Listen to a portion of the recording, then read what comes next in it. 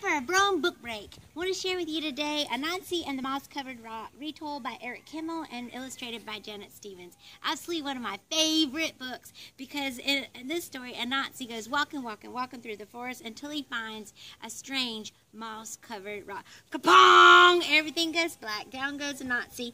And this moss covered rock then becomes the way that he tricks other critters into sharing their food with him. Anansi is uh, a favorite trickster uh, character.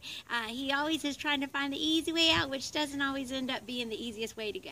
So enjoy Anansi and really love, love, love Janet Stevens illustrations uh, with this fun retelling of uh, the story of Anansi and the moss covered rock. Come on!